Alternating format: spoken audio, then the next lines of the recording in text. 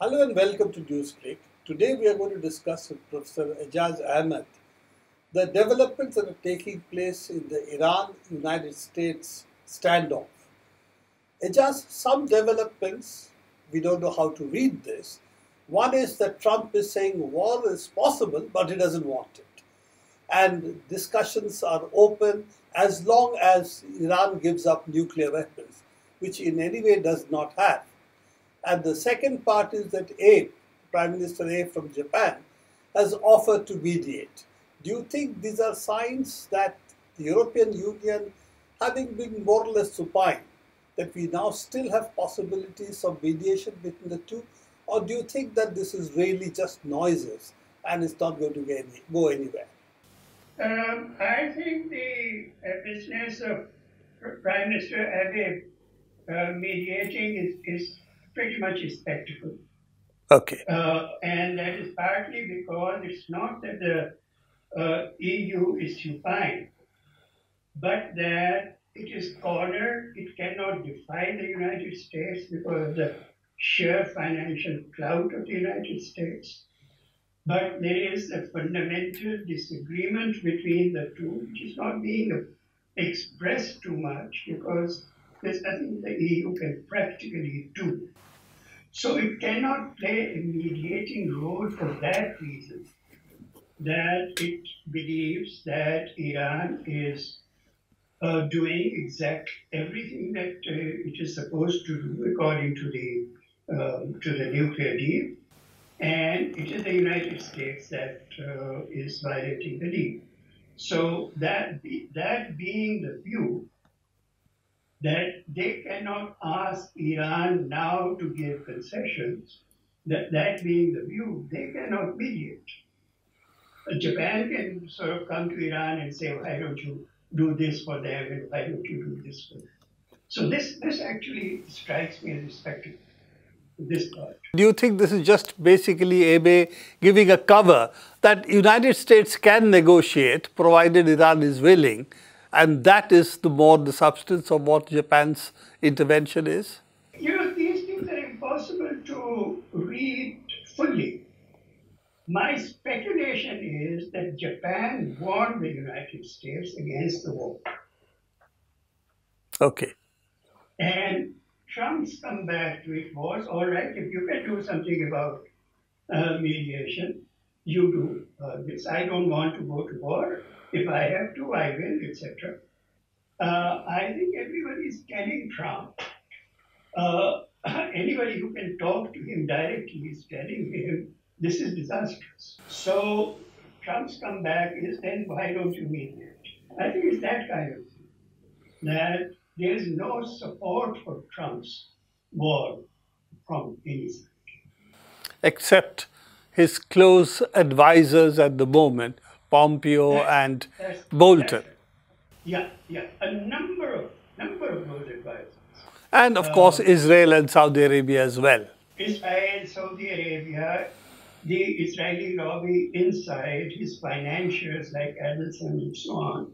Not to speak, of course, of Pompeo and, and, all that, but it's a huge, big crowd breathing down his neck.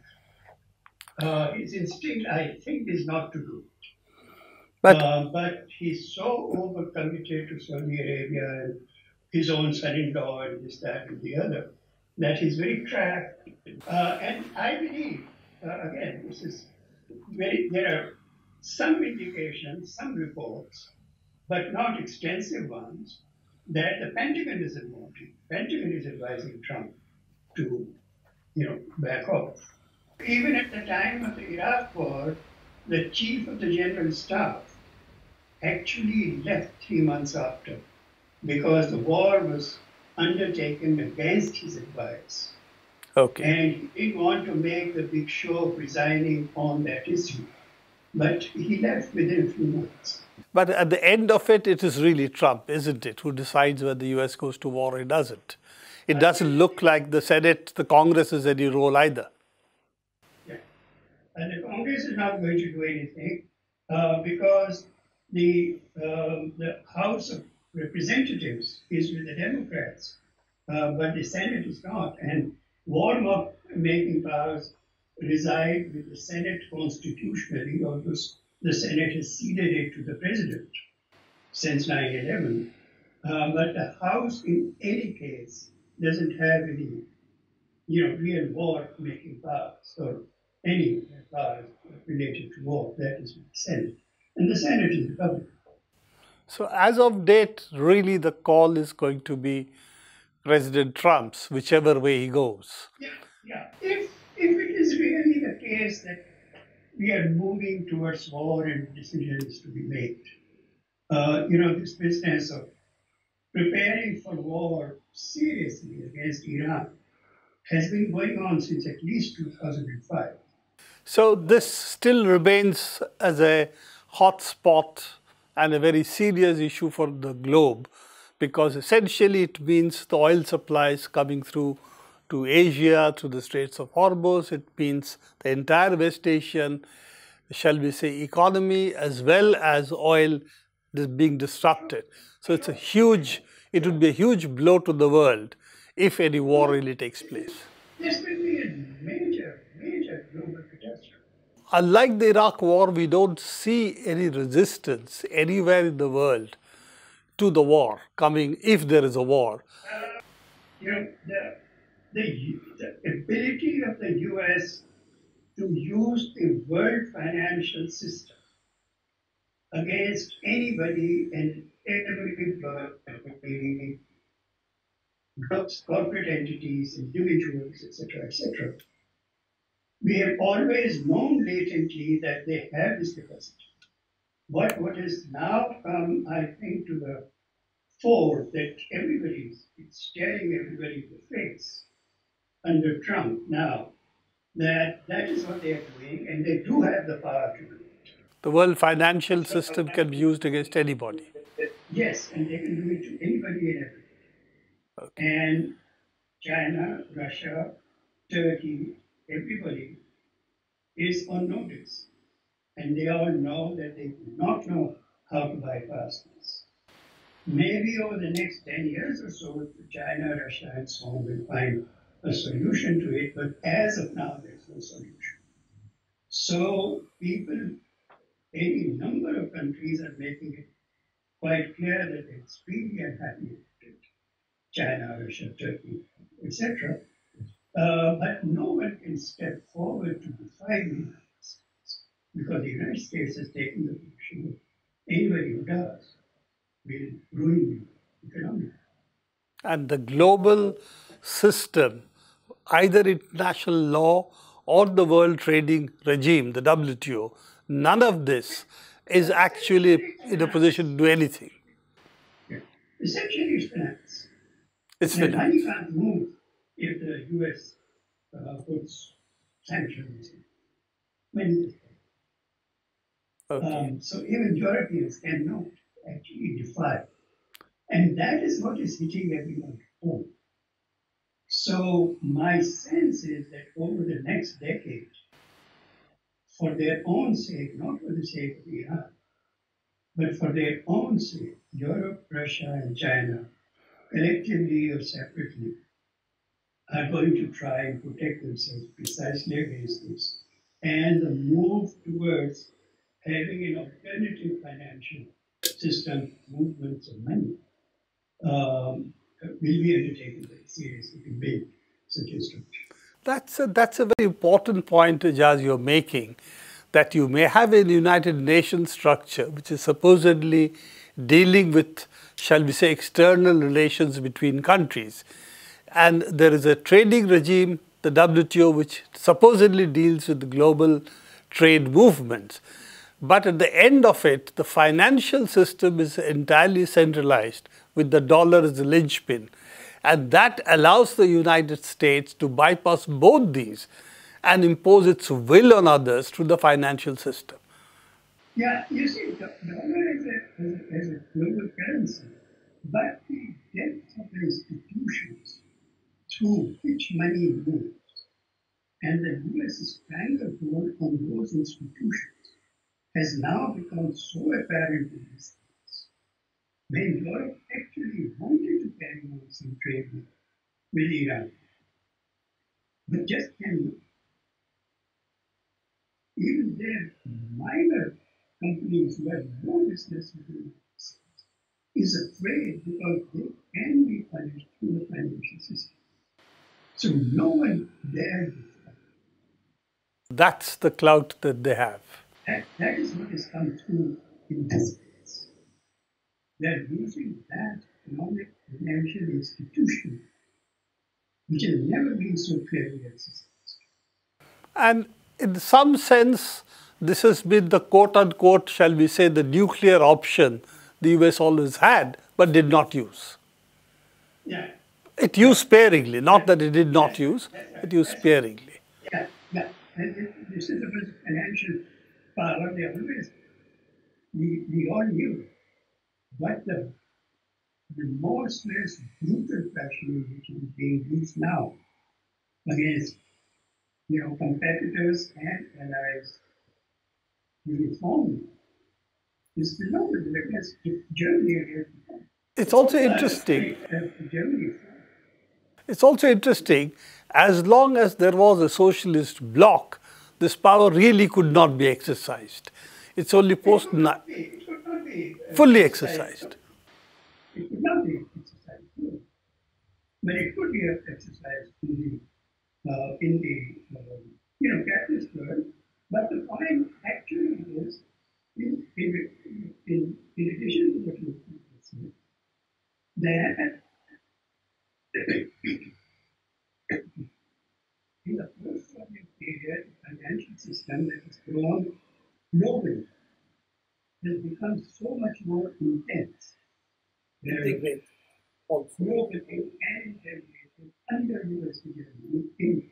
You know, the depth, the institutional depth now that the US commands is far and that's what is making the difference today when Trump chooses to exercise it openly. It has been exercised earlier, but not on the scale. Returning to another issue, we had these three Makkah summits that took place. Do you see this as anything new, or is it just the meeting of the, shall we say, the Arab uh, monarchies, in which now Qatar has been also accepted as an invitee. Saudis and Emiratis have done something that is historically unprecedented. Uh, they have made an overt alliance, not just a covert, but an overt alliance with Israel. And it all came out absolutely in the open in that voice. Poland. That summit in which very, very minutes.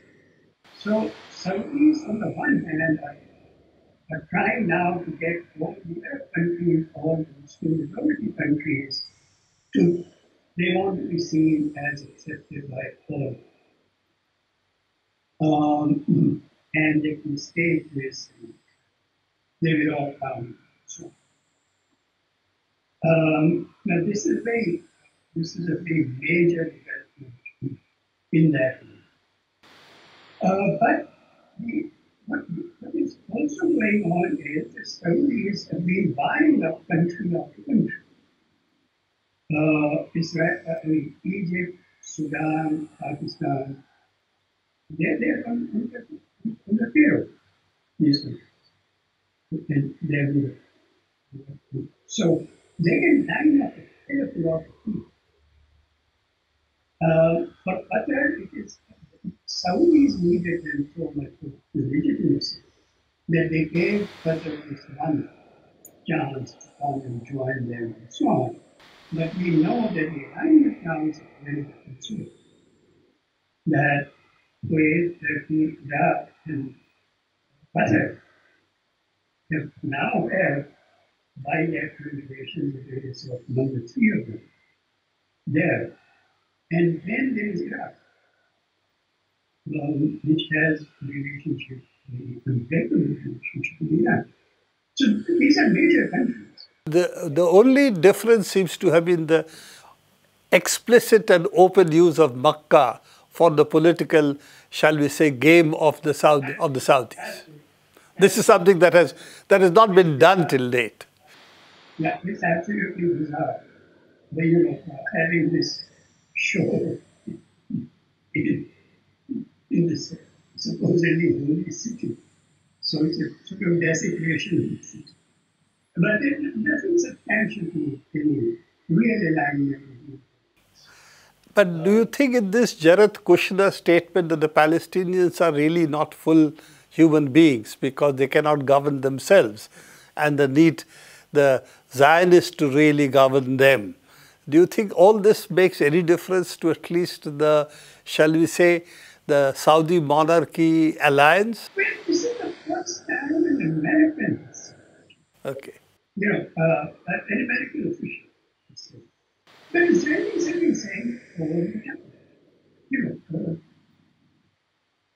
I mean, there are Israeli leaders, major, major leaders, on record, you know, referring to them as animals, as, you know, vermin, this, that, and the other. People like Lieberman, on record using that language. If all of that is made, Except that he's Trump's son-in-law. So Yeah, that's bad.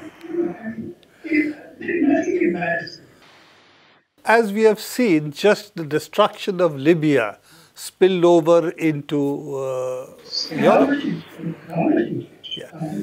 But then, as far as Saudis are concerned, or the US is concerned, or even the Israelis are concerned, that's Europe's problem, not theirs. And that's been also the, shall we say, the strategic difference that is opened out.